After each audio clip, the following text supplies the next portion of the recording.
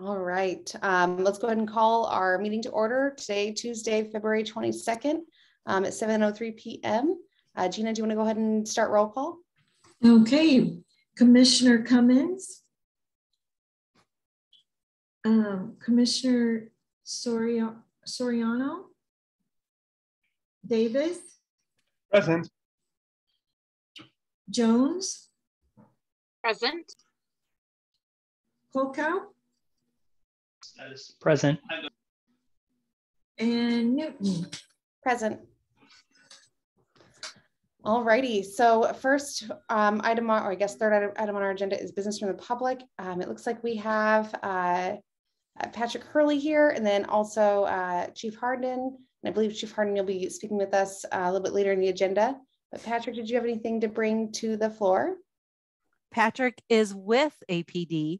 Um, so they are a joint show tonight. So Oh, perfect, He's the Dream team. brains behind me. perfect. Awesome. All right, so let's go ahead and move forward with approval for the January 25th meeting minutes. Do I have any revisions or um, do I have approval? I move we approve as submitted. I second that. All right, all those in favor? Aye. Anyone opposed? Aye. All right, sounds like they are good to go.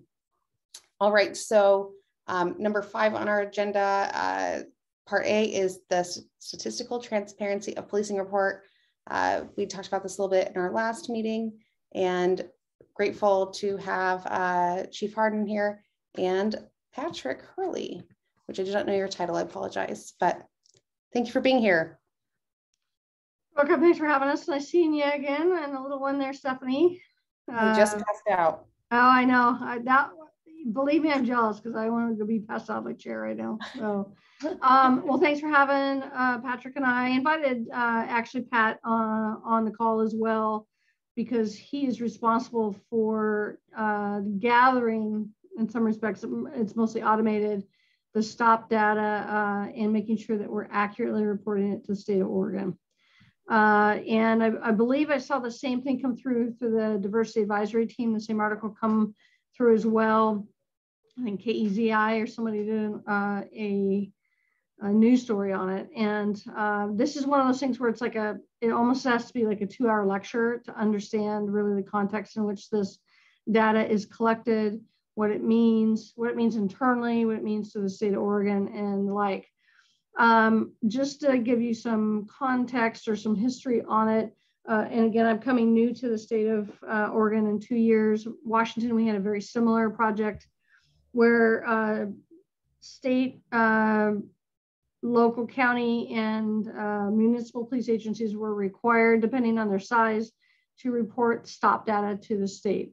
Uh, that includes the reason for the stop, the racial and gender demographics of the stop, what kind of stop it, it was, and the like.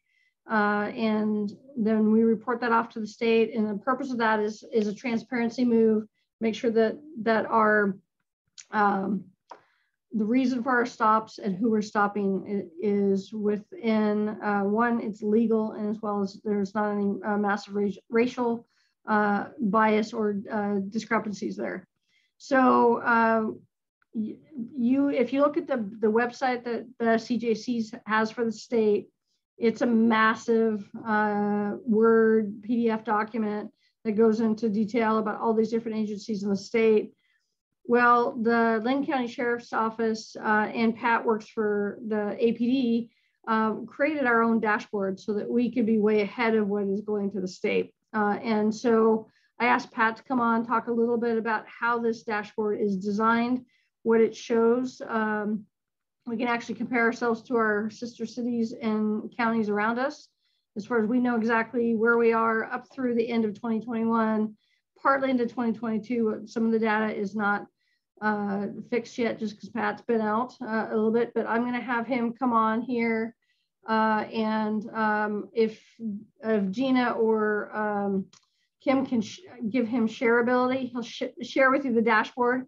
It is, uh, it allows us to look very quickly at uh, what our officers are stopping people for, who they're stopping, uh, they're required to enter the stop data per our policy and per the law.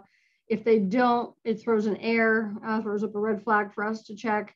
Uh, and we frequently, on a weekly basis, go back and try to track those down. A lot of times it's the officers forget or whatever the case may be.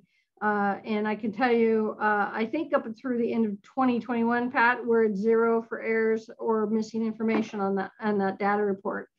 Um, and uh, we can look at again, look at what our our closest comparable is Corvallis. So we can look at who they're stopping, how they're stopping, what time they're stopping. This uh, dashboard also goes a little bit further that we have an early warning system in uh, in the Albany Police Department where if we get a certain number of complaints or we get a certain number of uses of force, uh, it, a, it triggers an early warning system within, and we can actually go to the dashboard and look as well at how many stops somebody's doing, what the demographics are, uh, so we get an early look into that accountability piece far sooner than the state ever publishes it. So I'll let Pat um, share his screen and he can walk you through a little bit about how this dashboard works and we can answer any questions that you guys have. Okay. So can, can all of you see the dashboard on my yes. screen? Yes. Okay.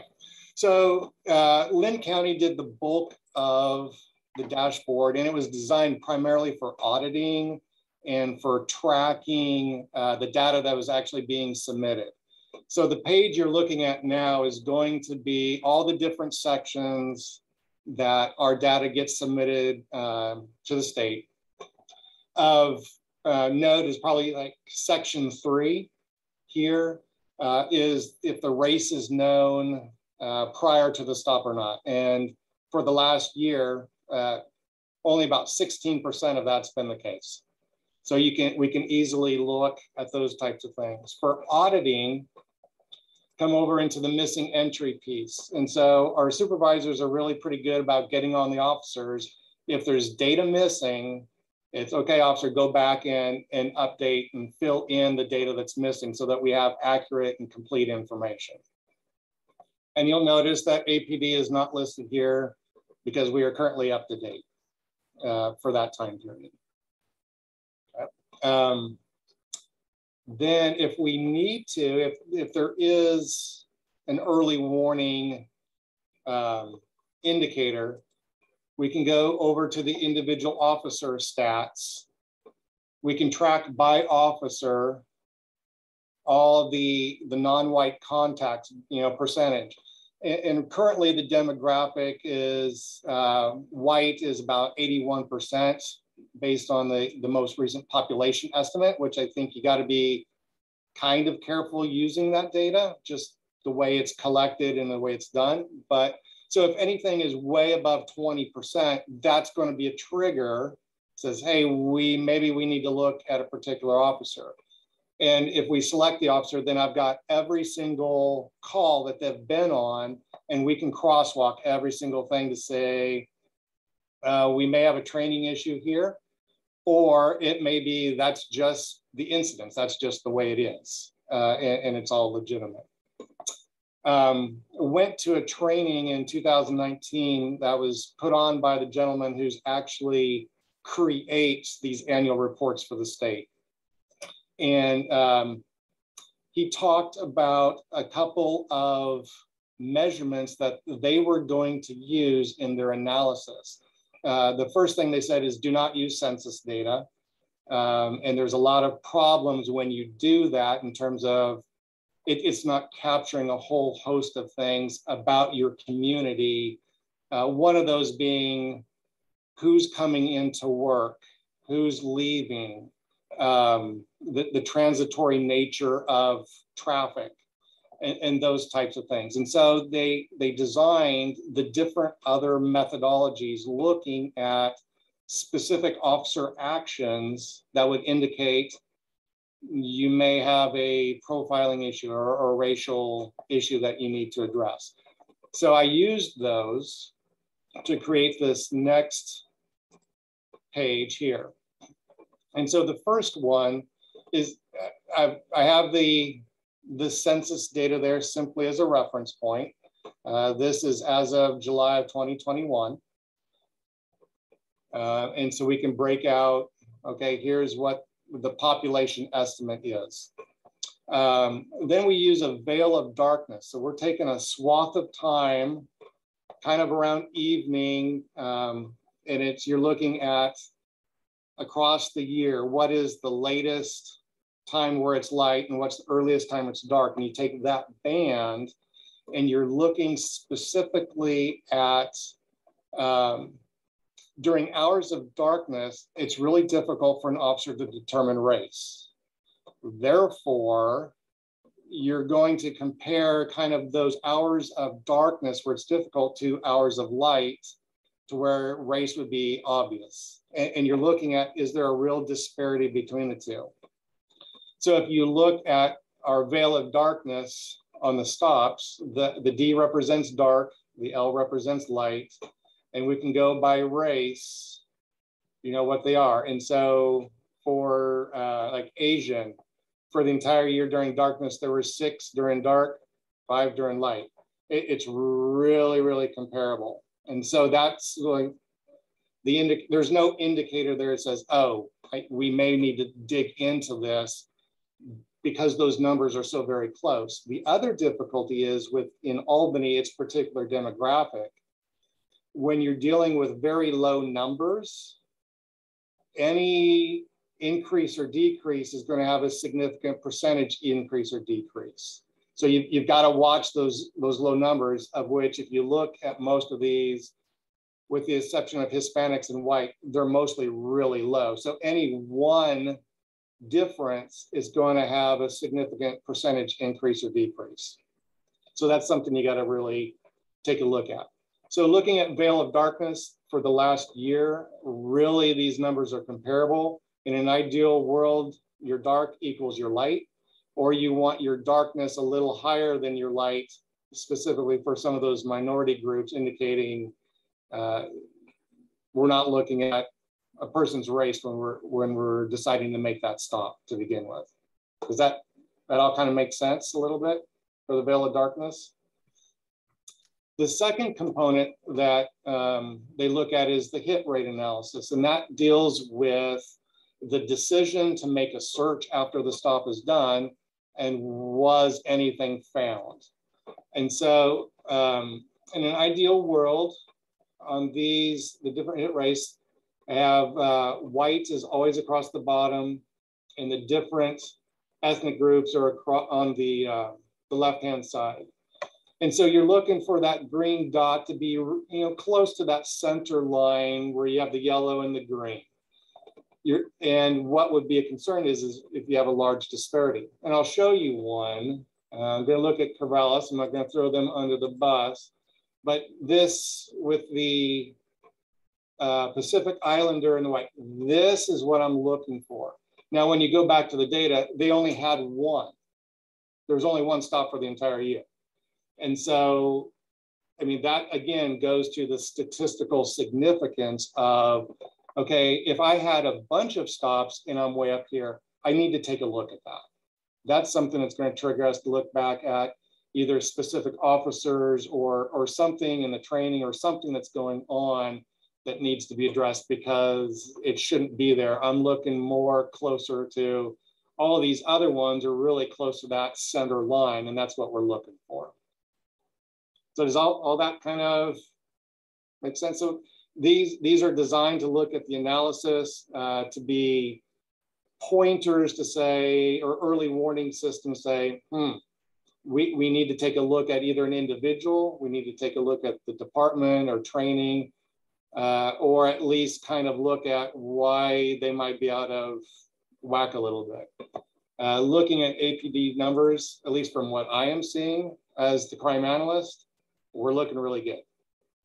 Uh, and so hopefully you guys can uh, take some assurance in that. Uh, but these things are in place to give us indicators of we need to look at something. So does anyone have any questions on the dashboard? So curious about, so hit rate, so we have, mm -hmm. is it, so I'm seeing like searched um, and then contraband. Yep. So what is the number of? So the, the, the stops and then search, What yeah. search? So is it, so the search yes is the decision to make, there was a yes decision to make the search. Okay, and then contraband yes is, and contraband was actually found. So it's kind of, that's your success rate. And so what you're looking for is if I have, on that particular, I'm looking for a really low success rate. Uh, that indicates I'm making a decision to search a bunch, but I'm not finding anything, which may be a clue I've got something that I need to look at a little bit more closely.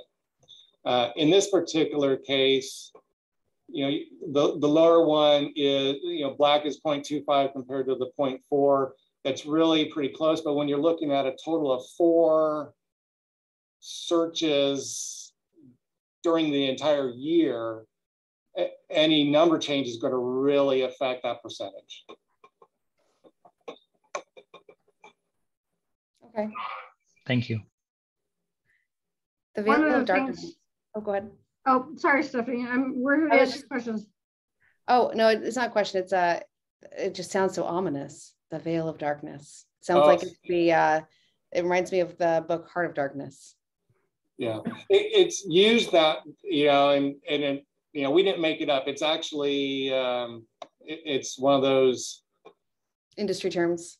yeah, yeah. And it's one of those to say is, you know, if you, we have this veil of darkness over us, then you're not going to be making those decision, decisions based on race or, or another factor because you can't, you're blind. It's like justice is blind type of veil of darkness. So yeah, it does sound ominous. Is I have no there, control over that one. is there data that attracts um, all encounters, not just traffic stops, or is this primarily aimed just at uh, traffic stops? Uh, this is all stop data, hmm which the majority is traffic. Okay. Uh, But you have, let's see if I can go to the annual report. So on this type of contact, Ah, okay. uh, you, you can see the vast majority is traffic, Mhm. uh, but there are other stops in there as well. Thank you.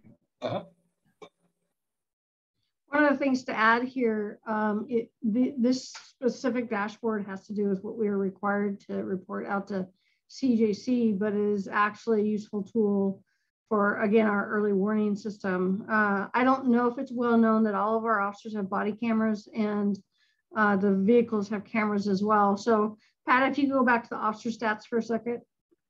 So say we have uh, an officer uh, that suddenly comes up on our radar for a lot of complaints, uh, or we get a biased complaint against the officer, one of the things that's a standard protocol would be to go and check this data. Uh, and so if we pick on anybody, let's pick on Blake Miller just because he's the top uh, contact person there. He's one of our more proactive folks. So if uh, I can go through here and on the lower right hand side, um, Pat can sort that by, by the race category. And so I can start digging, or supervisor can start digging into all of these contacts, which are um, video and um, video for cars and body worn video is kept for uh, a period of time. So we go back and view that. And we have to have cause, just we can't just randomly review their body cams, but that would certainly, if he came up with an early warning system, part of that early warning system say it was for use of force, and I just reviewed three of them today. It once they have an X number of uh, use of forces within a set period of time, it triggers an early warning system where we have to go back and review all of those uses of forces, which include reviewing the video and making sure we have a problem or don't have a problem. Uh, part of it is 99% of the time it's training type things. Uh, one of the things we've been dealing with for the last two years is a is a huge shortage in our patrol staff, which we're seeing officers go hands-on with uh, individuals uh, where they would normally wait for a second or third officer to get there, which lowers the amount of force and lowers the the chances of injury to the officer or the the suspect. Um, and we started to see uh, more and more officers were going hands-on with people before backup got there and that it triggered a, a, a massive change in direction for us because I don't want anybody to get hurt either on the suspect or the officer side. So things like that help trigger and we can review this. Uh, again, it's up to date as of, it's fully up to date through the end of 2021. And Pat just has um, the majority of the data in for 2022 so far, but he's got to do some work on the uh, on the back end on it. Awesome, thank you. This is uh, interesting stuff. And if uh, anybody's interested too, if you're uh, on a quarterly basis and annual basis, we publish our uh, use of force data on our website and it breaks it down by gender, age, race, uh, what type of force we use, what type of force the other person used, whether mental health was an issue, what kind of crimes they committed, uh, and the like. Uh, it's always posted on our website on a quarterly basis and goes to the city council as well. Okay. Thank you, Chief. Any other questions we can answer for you? No questions here. Thank From me. you. Does anyone else have questions? And it looks like also um, uh, another member of our commission joined as well, Gina. Just make sure he was uh, noted in our attendance.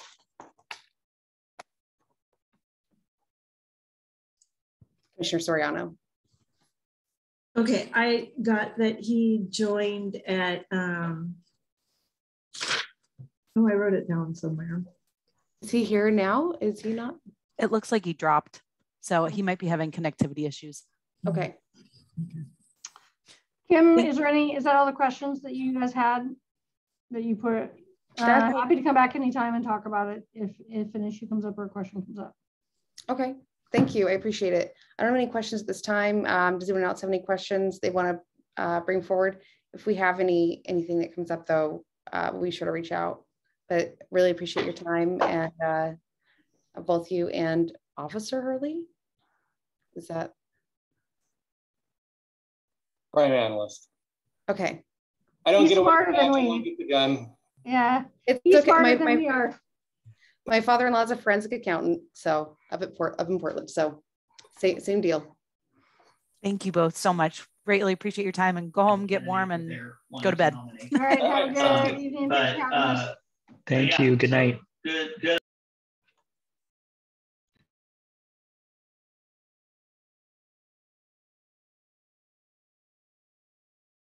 Okay, all right, so let's move on to our next item agenda. Um, we have Historic Preservation Month coming up um, in May.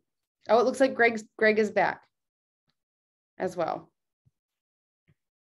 Uh, so the idea that we floated for Historic Preservation Month um, is working with the Landmarks Commission and doing a, you know, a tour um, highlighting the diversity um, as well, and, and how as how it intersects with um, um, Albany's historic history.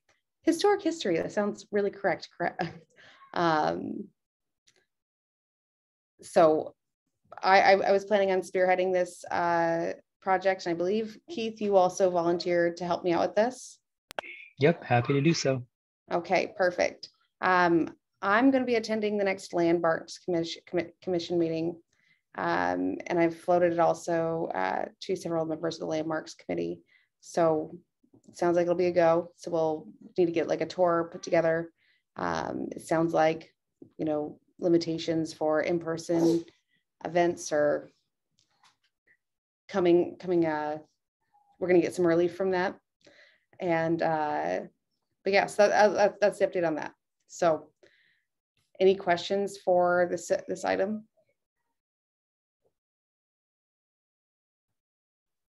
All right, hearing none, let's go ahead and move, o- move forward to our next HRC project updates. Does anyone have a um, update for any projects that they're working on? I kind of briefly went over the historic preservation one. Uh, any other projects that you guys would like to bring forward to the commission and execute with the city? I think Jamie and I still have to, Keith, could you mute yourself?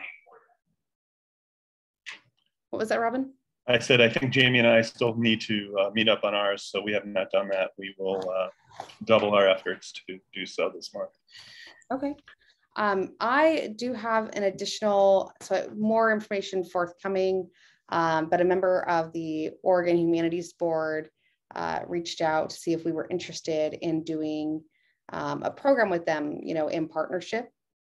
And so I, I'll get more information from them as as it comes forward. Um, but I think that this sounds like something that will definitely align with our goals and um, our mission. And uh, I'm excited to bring it forward to the commission and for us all to work work with the um, Oregon Oregon Humanities Board. All right. Uh, so do we have any uh, event debriefs or upcoming events we'd like to add to the, um, oh, go ahead. Oh, I, I um, have a meeting with um, um, Mr. Dorset um, Oh. on Thursday regarding the, um, the Unity Walk. Oh, fabulous. Thank you so much. Yeah, so I'll, uh, I'll update you guys next month on how that goes. Hopefully it'll go well. And what, when were we planning on uh, doing the Hmm. Unity Walk again? Well, we talked a little bit about the end of March, possibly. I don't know. We'll have to, I'll have to see if, what he thinks. When's Okay, maybe in like the summer? Um, probably sooner than that, Stephanie. Yeah, we'll, we'll give it a whirl. Okay, Yeah. all right, sounds good. Yeah. All I'll, right. I'll, I'll keep you guys posted on that. Perfect. I'm excited. I'm excited to attend again. Uh, all right. So, are do we have anything that we'd like to add to the HRC calendar, or any additional events that we anyone attended?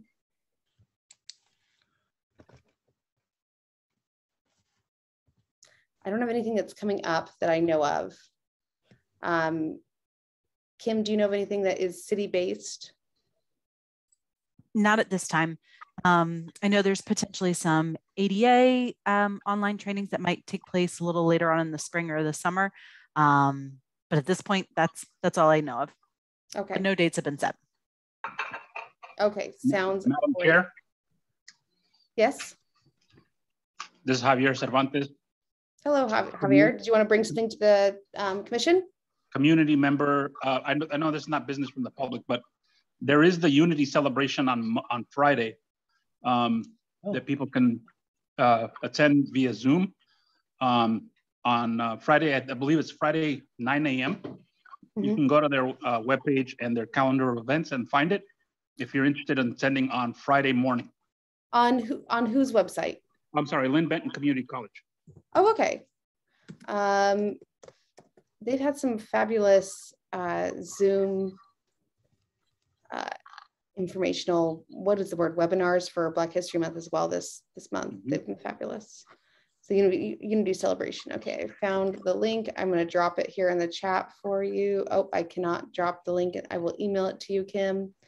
Uh, I think it'd be great. I'd love to go. Sorry for the short notice, but that's Friday. Thanks, Okay. Javier. Thank you so much. I appreciate it. Thank you, It Javi. is on the calendar of events. Oh, it is? Oh, fabulous. All right, so highlights for this meeting's uh, annual report presentation. Oh, and speaking of, we're moving the date from the, from the presentation from tomorrow to next, uh, this time next month uh, for city council.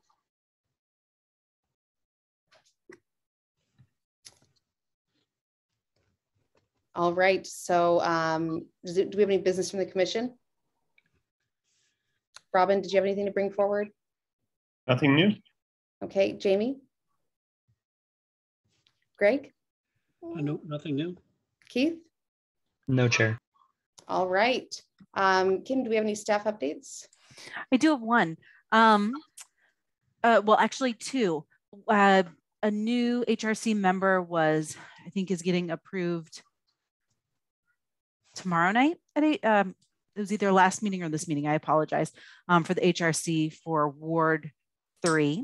So um, hopefully next month we will have a new member. Um, and then in addition to that, uh, Albany joined the Oregon Latinos in Government chapter um, uh, to help support our staff and just to be better educated and, and more connected and better. Um, and so we reached out to see if they were going to potentially have any sort of engagement for city council or um, community uh, citizen advisory groups um, or just any other constituents that we potentially work with to help. Um, and at this point, they're just kind of focused on getting the project off the ground. They said eventually they would like to have some additional training or, or opportunities for connection. Um, they're just not there yet, but I wanted to let you know that we're monitoring it. We've reached out to them twice. Um, and so we're just excited to see um, hopefully what improvements come from that. Okay, perfect. And that reminds me, um, we have not met with the Hispanic Advisory Commission in quite a while. And I know that they just recently decided at their, um, I believe their December meeting, that they would like to continue meeting with us. So um, as a heads up to everyone, I'm going to be reaching out uh, to get a meeting scheduled with them. And then actually, I realized the only other thing is, and we'll discuss more at our next meeting, um, with talk of the mask mandate dropping. Um, some groups are deciding to meet back in person. Um, I know this one, when we had the conversation back in the fall, had decided, regardless of masks, we were still going to meet um, virtually, but some time has passed. Uh, so once we, you know, this time next month, theoretically, we'll have some additional details or a date. Um, so we're going to set some time aside on the agenda for us to talk about how we would like to continue meeting moving forward. Okay, that sounds great. Thank you. All right. So um, without any other additional updates, I'll go ahead and call our meeting to adjourn uh, at 7.34 p.m. Our next meeting will be on Tuesday, March 22nd. Thank you. Good night. Thank you. Good night, folks. Stay warm. Be safe tomorrow morning. Yes. Thank you, Gina. Have a good night. Thank you, you too.